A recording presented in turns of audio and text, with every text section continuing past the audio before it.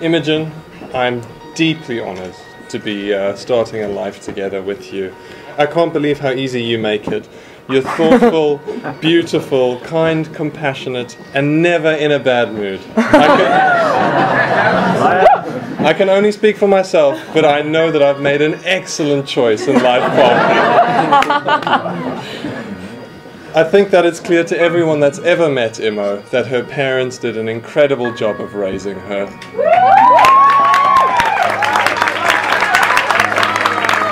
I feel exceptionally fortunate to have met and snagged such a wonderful person.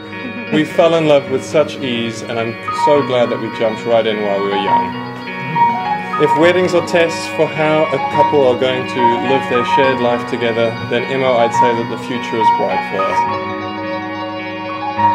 It never ceases to amaze me how compatible we are and how little friction there has been in bringing the spectacle together.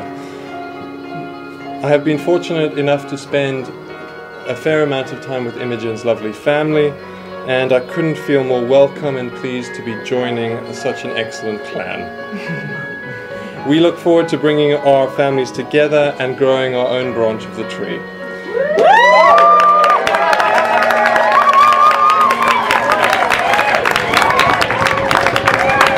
I can't thank my family enough for the incredible upbringing that they gave me. They must have done many things right for me to be standing here today with this wonderful woman by my side.